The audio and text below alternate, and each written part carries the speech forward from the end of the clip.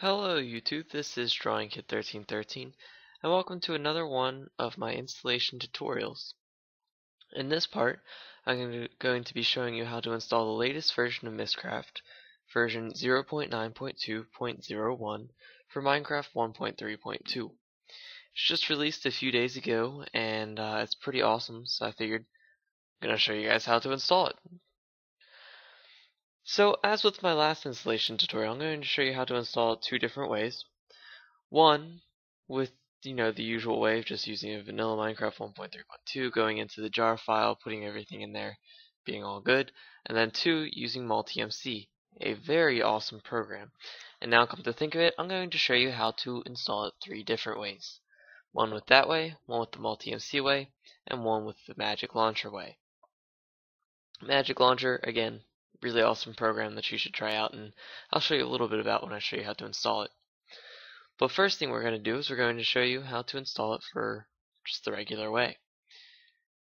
What you're going to need is you're going to need Minecraft Forge. It's going to be the universal, whatever it is. Um, I believe the latest version is 4.0.0.248. Um, you need at least 0.247 for Mystcraft um, but it usually never hurts to use the latest version. So what you're going to do is you're going to find your .minecraft. If you don't have a Minecraft shortcut like mine, you go ahead and type, or you go to your start menu and you type app percent app data app data percent press enter and it brings you to your roaming folder in which case you can find your .minecraft folder. Now for this you are going to need a vanilla 1.3.2 uh, .minecraft.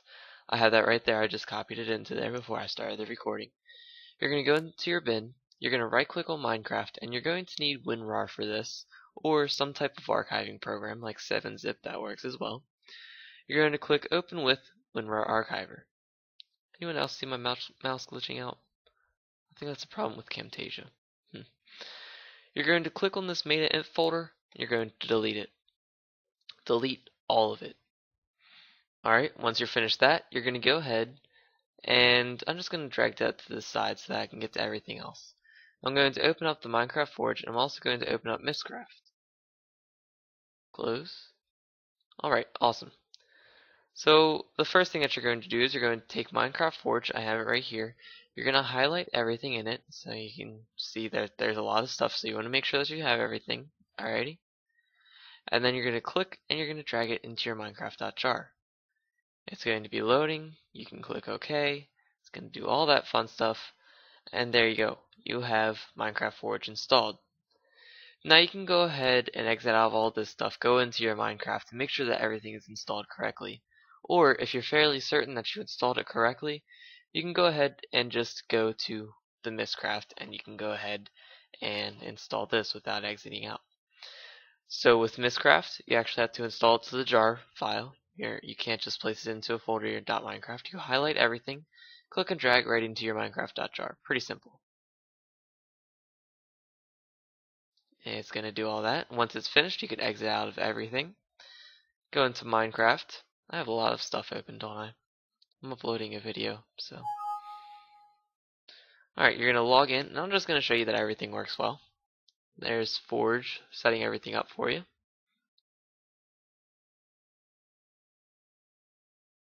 It's getting late. It's gonna load. And there we go. It is loaded. If we go ahead and check out the mods that we have, we have Forge Mod Loader, Minecraft Forge, of course. But we also have Mystcraft, which is awesome. I'm going to go ahead, I'm going to create a new world. It's going to be creative, that way I can use the cheats. It's going to do all that fun stuff. And once it loads, I'll just go into the creative menu and show you that everything is in there. Scroll down and eventually we should find something Mystcraft related. There we go. Oh no.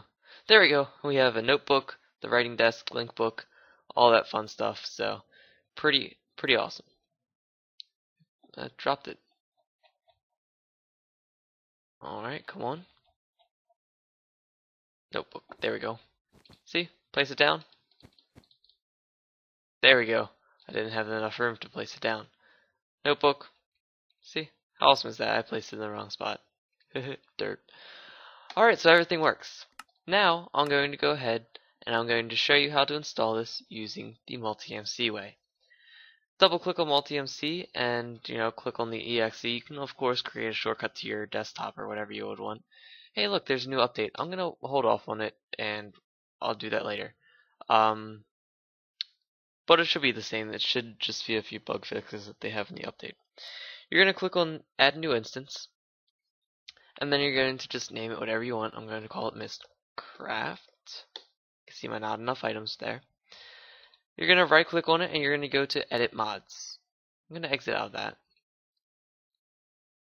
And right here where we have our mods, we're going to click on Minecraft Forge and Mystcraft and we're going to click and drag them into the jar mods thing. Now you can see that they're not to, they're not ordered right. Alright, when you're installing the jar mods, they have to be ordered in a certain way. So you want to make sure that Minecraft Forge is first. There we go. So you can just, you know, simply click and drag it. Just make sure that Minecraft Forge is up top.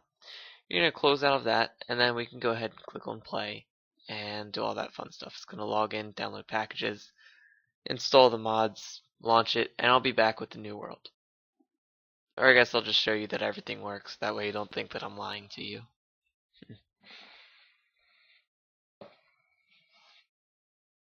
Got the Mojang screen.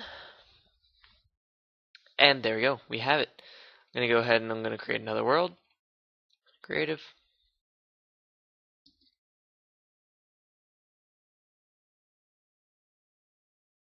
That's cool. Going to be building the terrain, and then once it launches, we can go into the creative menu, go to search items, go all the way down, and there we go. We have notebook, writing desk, all that fun stuff. Alright?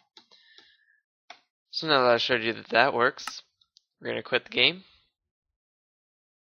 You should close out as well. Exit out. And now I'm going to show you how to install it using the Magic Launcher. I don't believe that this needs to be in a folder. But go ahead and open up the Magic Launcher and you can see all this fun stuff. I might do a spotlight on this later, but right now I'm just going to show you how to install the mods. You're going to go ahead and go to Setup, but before you do that, you want to make sure that you have a vanilla Minecraft in your Minecraft.jar. So I'm going to go ahead and just going to delete that. And then I'm going to go ahead and I'm going to get myself a vanilla copy of Minecraft. I have a lot of backups. I like backups. And yes, my desktop is a mess. I apologize.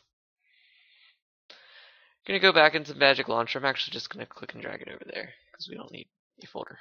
There we go. Alright, we're going to double click on Magic Launcher. We're going to go to Setup. We're going to create a new configuration.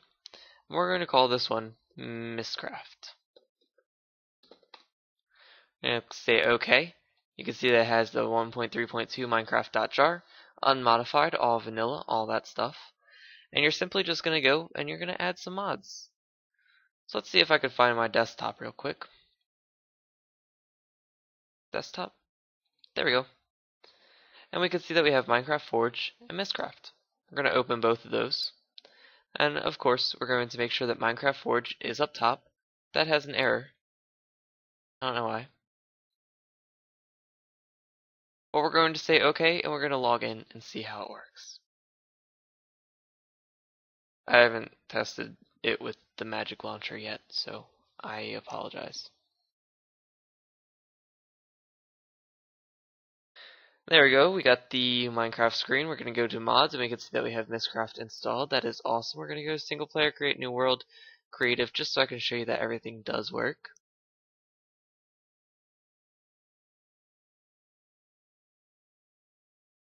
Come on. It takes a while. We are in a new world. I'm going to go into the creative inventory. We're going to scroll all the way down and we should see some items. That's a sheep. See? Writing desk. Everything works. It's perfect. Absolutely perfect. Awesome. So now that we see that that works, there you go. So choose whichever way best fits your needs, whichever way you like most. I personally like the vanilla installation. Oops, sorry, I hit a whole bunch of cans on my desk. Uh, but I personally like just the regular installation. But you know, MultiMC and Magic Launcher makes it very easy to um, just install mods in general. So whichever way you like. If you have a problem with installing these mods, please don't just leave a comment saying it doesn't work. That doesn't help me any, and it really doesn't help you any. What you should do is you should go ahead and look in the description of the video, and in that description you will find a link to a video that I made of how to send an error report. It's going to be slightly different depending on which way you use. If you use the multi-MC way, it actually has a built-in error report, or sorry, no it doesn't. Um, but if you use the multi-MC way, an easy way to do that is not click on random things. Come here. We're going to click on view folder on one of your instances and that's going to take you to the multi-MC um, folder if you don't already have it in a folder. And uh, what you can do is you can go to your instance. Whichever instance you used, you go to the .minecraft and the Forge Mod Loader client right there. That is the error report if there was an error. Alright, so just follow the directions in the link of the video. Alright. Um, as for the Magic Launcher, it has a built-in thing that you can find pretty easily in under the setup when you're setting everything up. So, just some quick notes because I no, no I it's not that just that I don't want to get messages saying that it doesn't work, but I want you guys to be helped as much as you can. Um, that way you can get this mod working and you can play around because it is an amazing mod. So. I hope you have enjoyed this video. If you have, go ahead and leave a like, favorite it if you want to, subscribe if you had, and that way you don't miss any more of these videos. So again, this has been Drawing Kid 1313, and I will see you all in the next video.